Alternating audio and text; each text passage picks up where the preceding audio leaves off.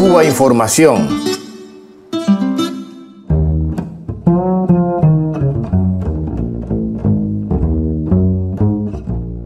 Hasta los órganos de prensa que respaldan las posiciones de Washington contra Cuba, como El País o El Nuevo Herald, han tenido que reconocerlo.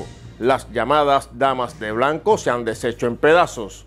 30 integrantes de este grupo financiado por la USAID, agencia gubernamental norteamericana, han abandonado el grupo tras denunciar el autoritarismo de su líder Berta Soler. Las denuncias contra Soler ya fueron desveladas por Cuba Información hace unos meses, en un video en el que varias de ellas denunciaban el bajo nivel intelectual y el talante dictatorial de su presidenta.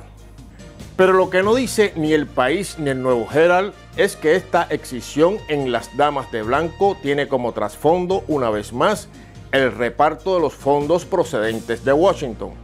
Recordemos que en el citado video de Q Información, varias de las damas de blanco denunciaban que mientras la mayoría de ellas cobraba entre 15 y 30 dólares por cada marcha contra el gobierno, Berta Soler y su cúpula administraban miles de dólares procedentes del exterior.